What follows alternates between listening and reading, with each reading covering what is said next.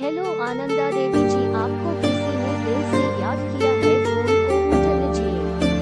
hello, Ananda देवी जी, आपको किसी ने दिल से याद किया है तो फ़ोन को लीजिए हेलो, आनंदा देवी जी